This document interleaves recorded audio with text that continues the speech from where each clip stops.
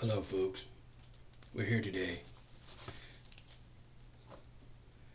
to do a Midge Chronicles. Ooh, oh, that's kind of boring. Well, instead let's talk about what MattDogg had a problem with. People didn't like MattDogg's review of the Futurama. A beast with a billion backs. Basically, it's a beast with genitalia attacking everyone. Japanese fan favorite. But let's go to the first movie.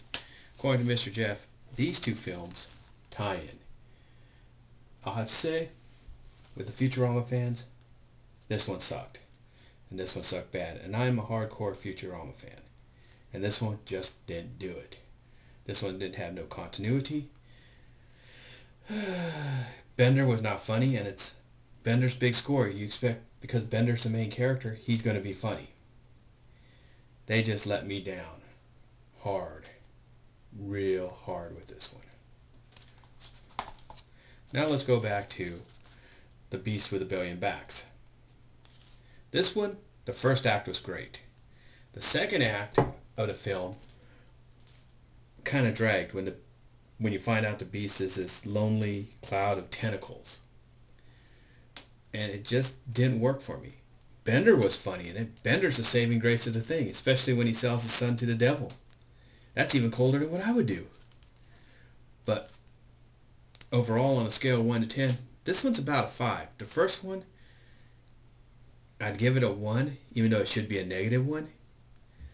And as a fan of Futurama, I can actually say that movie sucked.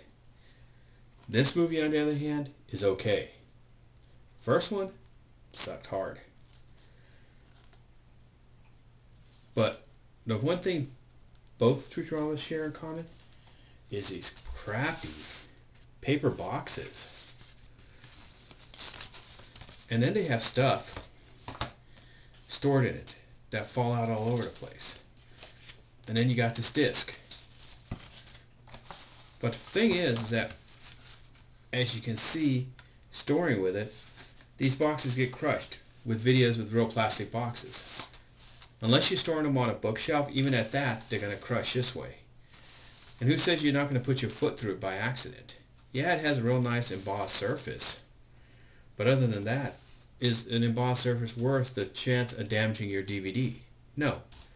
Or the nice animated bender. Is it really worth damaging your CD again? But I think that's all the time we have for now. So remember, The Beast with a Billion Backs is okay. MattDogg may have been a little harsh with it, but I have to agree with him that as a non-Futurama fan, they may not like it. But as a Futurama fan, this one did suck. And it sucked bad. It made me regret spending $19.99 on it. And that was with a, with a coupon from Borders. And even at that, it was a waste of a coupon. I could have got Race with the Devil for five bucks. Instead, I spent it on this. I should have got Peter Fonda instead. But let's go back to the Midge clip.